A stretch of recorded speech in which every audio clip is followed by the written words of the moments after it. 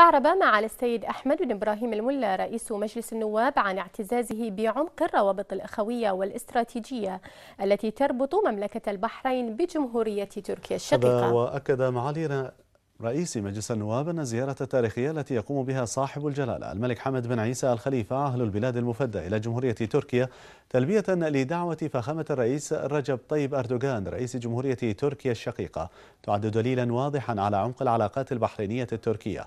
وأكد معالي رئيس مجلس النواب على دعم السلطة التشريعية في البحرين لكافة الاتفاقيات ومذكرات التفاهم التي تم التوقيع عليها بين البلدين خلال زيارة جلالة الملك المفدى.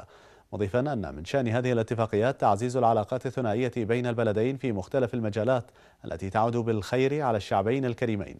كما أن هذه الاتفاقيات ستحظى بجانب من الأهمية خلال عرضها على السلطة التشريعية للتصديق عليها.